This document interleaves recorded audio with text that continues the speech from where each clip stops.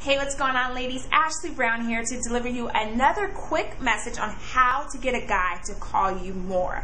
Ladies, I totally get it. When you're starting to begin dating someone, you're into that honeymoon stage where you want to like talk to your um, guy all the time, or your boyfriend, or whoever the, whoever this person may be. You want to talk to them all the time, but you don't want to come across so clingy and so needy, especially right away in the beginning of the relationship. So in this video, I'm going to give you a method of what you can do to get your boyfriend or the guy that you're dating to call you more often than he already does and get out of the routine of when he actually calls you. So you're probably wondering where this story is coming from. And for me, I can totally relate to this situation because I was dating a guy who I was loved, you know what I mean? Who I was like, okay, like I can't, I looked forward to his phone calls on a daily basis. But it got to the point where it became so routine when I knew he was going to call me at 5 p.m. Off bells when he got off work, I knew he was going to get into the car and call me. And that was the only time he ever called me. And I would literally sit there and wait, 4.59, okay, he's going to call me in one minute. 502 comes, bang, phone call.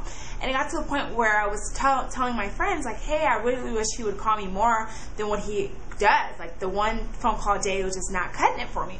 But I didn't want to come across that clingy, needy girl, like, why aren't you calling me? You should call me during your lunch break, this, and that. So I decided to switch things up to see how a man will respond. And I guarantee, ladies, if you follow this method that I did, it will totally work for you as well. And that is do not answer the phone when the guy calls you.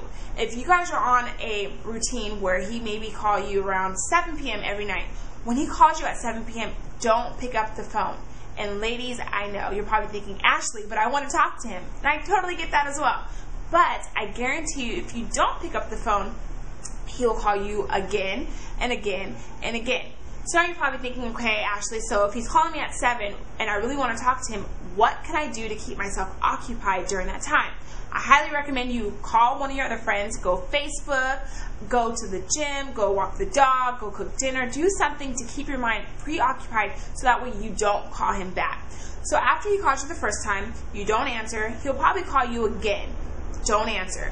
Then on the third time, he'll probably call, maybe leave you a message then you can answer the phone. And when he when you do answer the phone, I guarantee you the question will be like, well, where were you? Why aren't you answering my phone calls? Are you mad?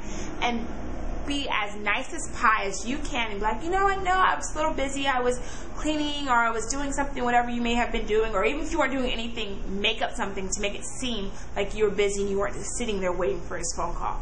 I guarantee you, if you do this method for about two weeks, it will shift the direction of your relationship and I'm not saying, ladies, ignore him all the time when he calls, but don't be so 100% readily available to every phone call that he calls you. I guarantee if you do this method, you will shift the relationship, the direction of your relationship, and I guarantee you your boyfriend or the guy that you're dating will call you more. Ladies, let's make it a great day.